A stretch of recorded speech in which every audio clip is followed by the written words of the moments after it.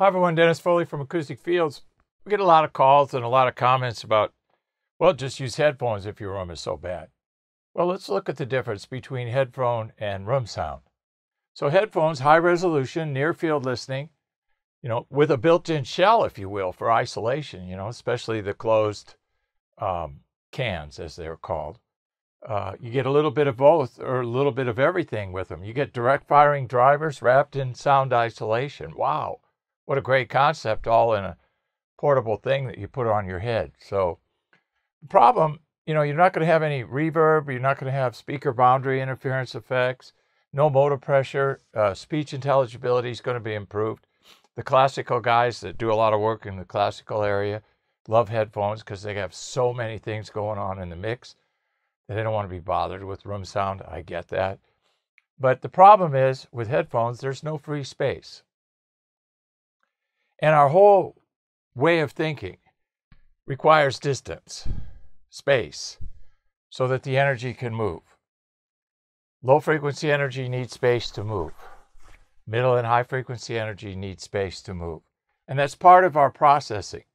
Distance is distinction and definition. So it's important to have, you know, free space for the energy to move. And it's a completely different sound. Um, room sound, no, no room sound, basically, would be the break, break it down. Fundamentals and harmonics, that's the goal. You don't get that kind of tail with headphones as you do in a room because there's no distance.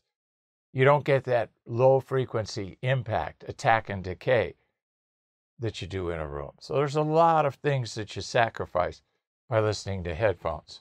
Okay? Room sound is part of our reference. We all have references that we go by. Well, that sounds good or that sounds horrible. Those statements are based on reference of what we know is good and what we know is not. At least that's what we think is good and what is not, right? So we want to elevate from what's that? Oh, elevate from the norm and improve room resolution. Room resolution. It's always easy to take you know, headphones and put them on, and say, all right, we'll forget about the room. But you're comparing two different types of sound, and you have to know which one is beneficial. There's no greater benefit than having a quality room to listen to music in, because that's the way we all listen to sound. All of our sound is contained in some form or fashion in a box, unless we're outside at a concert and, you know, that can even be in a box too, if you think about it. So we're going to get low frequency management first foremost in rooms is the most important because everything is built upon the low end of a room. It's the foundation of our building, so to speak, the foundation of our musical building. That's low frequency energy. Middle and high frequency need space to move. Uh, one of the things we like to do in rooms is add diffusion, which is a technology to make a small room sound larger. It improves the, the, the darkness between notes, um, the sparkle, if you will, and the, we call it the float. You know, you can get uh, cymbals and high energy producing devices to actually suspend in the room. And you can't do that with headphones. So there's a lot of benefits.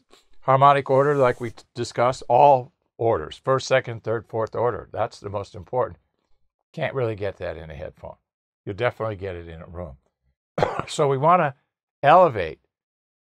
Don't dismiss, elevate, and we want to improve our room. And there's step by step processes for that. Completely different headphone and room sound. Apply the differences and know the differences so that you're not shortchanging yourself. Hope this helps. Thank you. Thank you for watching this video, and if you liked it, please give us a thumbs up. We also have a newsletter that you can subscribe to, so please do that because we offer special price discounts to only those on our newsletter. And then don't forget about our forum. We have started a forum on our own website where people ask questions, and I usually get a chance every couple days to look at it. There's an interchange between people on the forum, and we'll give you real answers uh, on a regular basis, so that'll help you. Thank you.